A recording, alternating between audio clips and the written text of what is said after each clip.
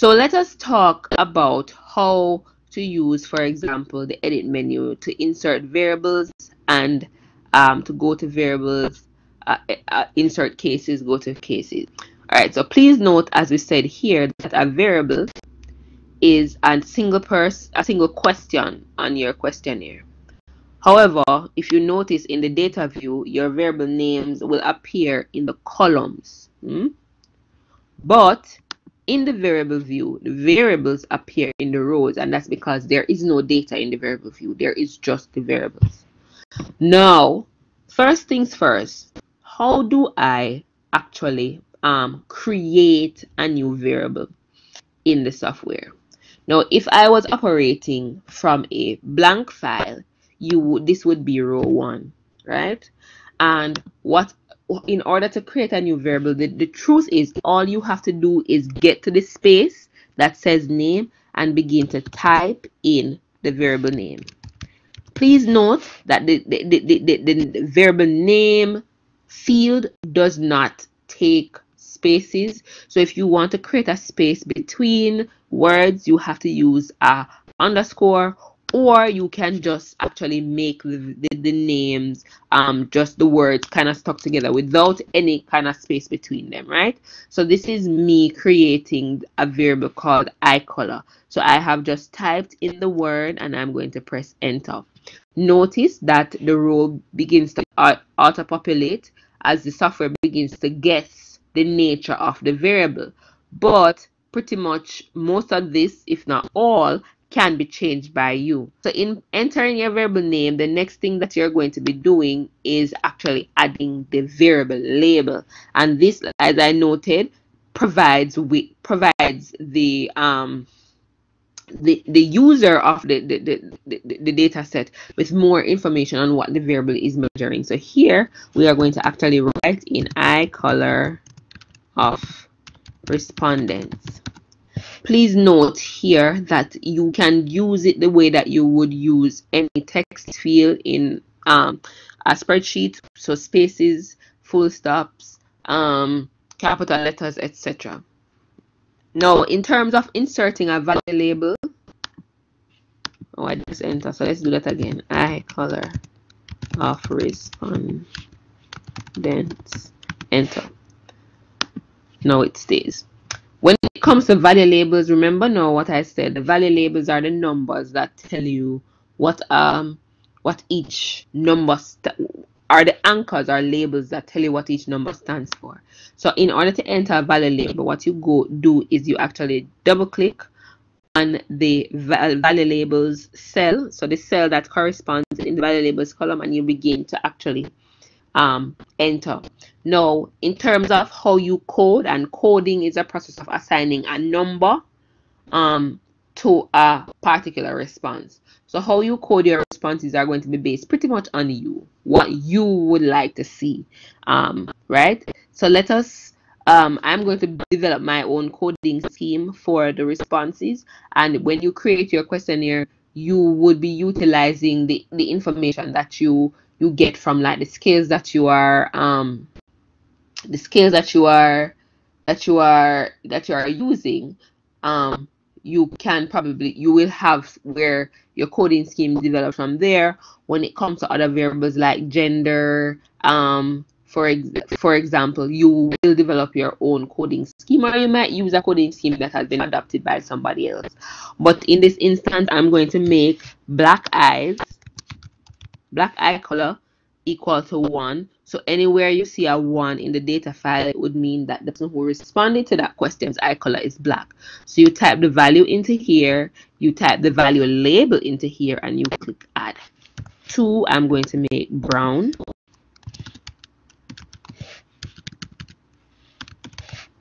Add. 3, I'm going to make green. Add and you would actually continue this process and adding all the, the different response categories.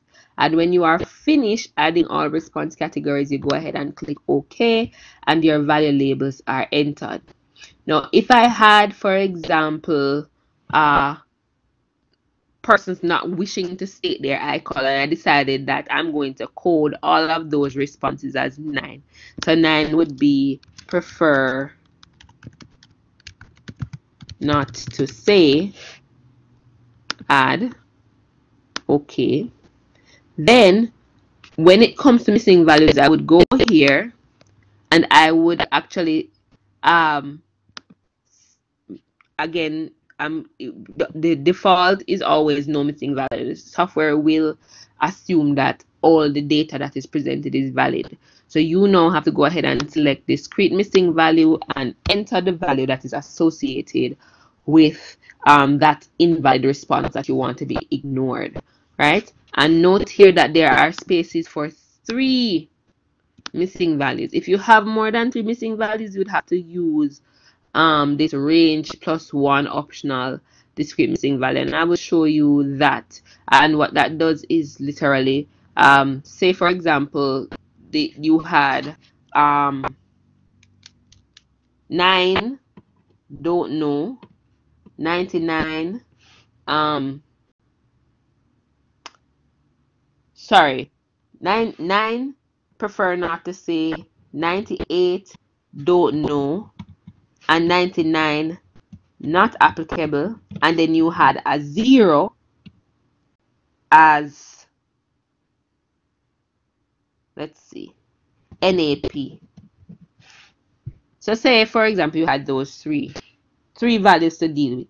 You had 0 which was NAP 9 which is prefer not to say 98 which is don't know and 99 which is NA and I only have three spaces, I would have to try to use range plus one optional discrete missing value. Now, how that works is that if you have where um, all values from one low number to a high number are all missing, then you are able to say, for example, that low you identify the low missing value here, you identify the high missing value here, and any other missing value that is outside that range would come here, but it has to be just one number.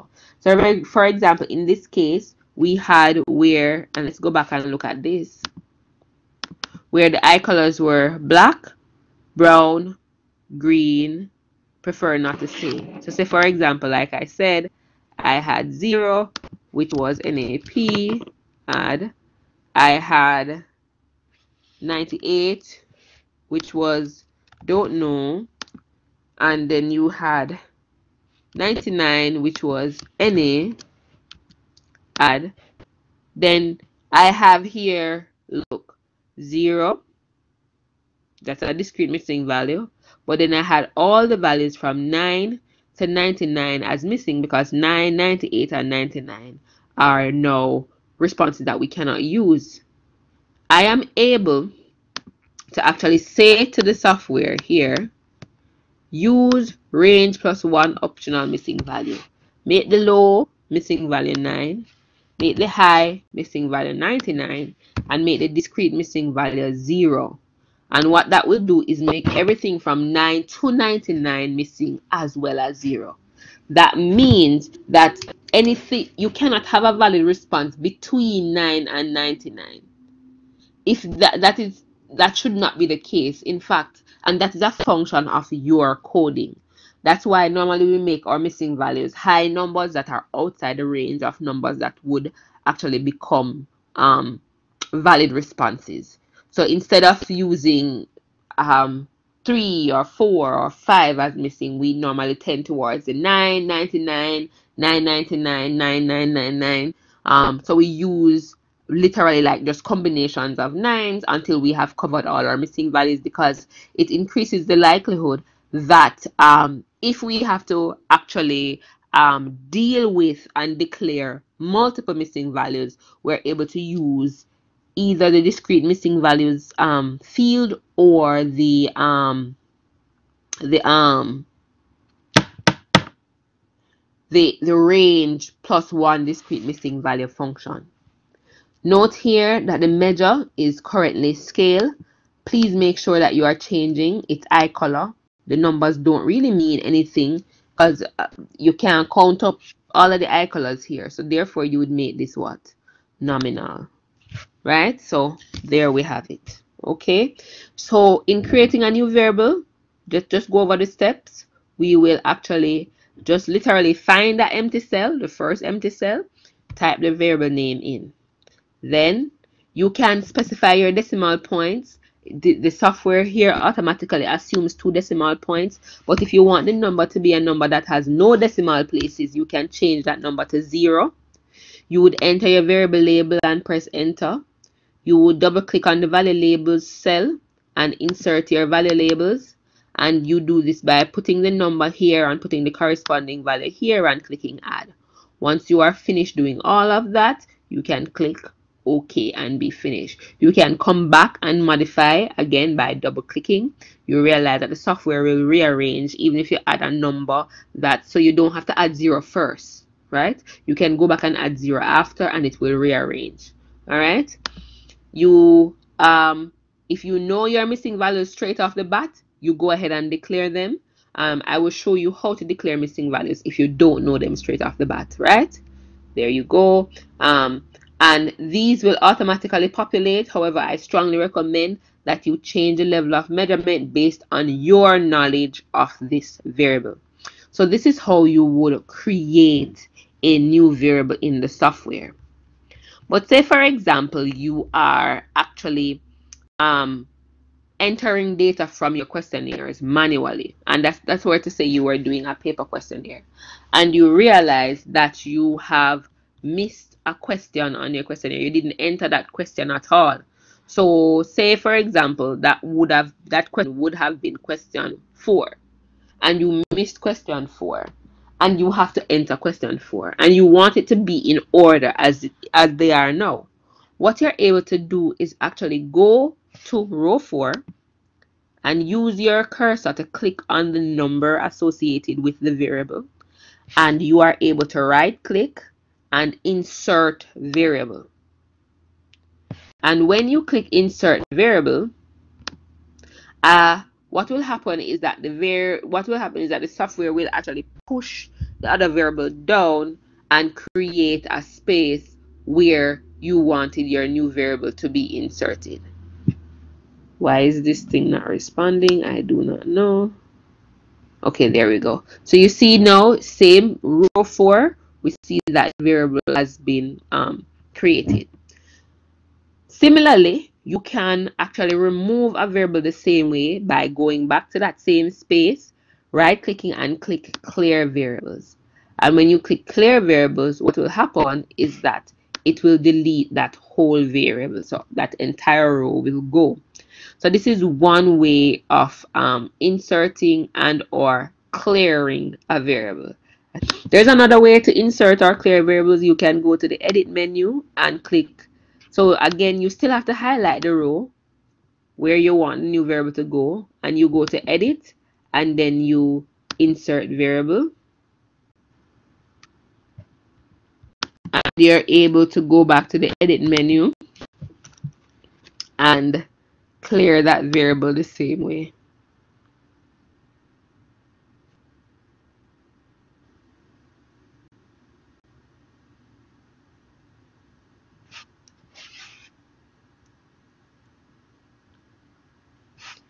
Okay, great. So other things that you're able to do in the edit menu is go to variable. And what you do here is you're literally pretty much selecting a variable. Um, so if you wanted to find a particular variable and if they were named properly, um, and this is a basic data set that needs to be cleaned up and modified, so putting in names, etc. Um, so you are able to just click on the variable and click go to and the, the software will automatically go to that variable. Now, if you're in the variable view, you'll notice that it only has the go to variable option. But if you go to data view, it will now give you a insert case and go to case option. And that is because in addition to being able to, for example, add a variable here edit insert variable and remember in the variable view you're in, inserting a new variable so which is going to be a new column or you can again edit and clear variable, right? You are actually able to insert cases. And that's say, for example, you had missed a person's response and that um that questionnaire was labeled as um respondent number six. And so you want to make a space here. Again, just like you would be able to insert variable, using the right click, you're able to insert case, right? Um, right click, you're able to clear case.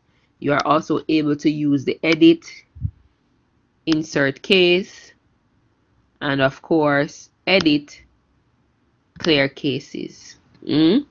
You are also able to go to a particular case here by saying you want respondent number 100. Go. Let's see. Edit. Go to case. Go to. Hmm, what's happening? Well, it should go to the case. I don't know what's happening here. Edit. Go the case.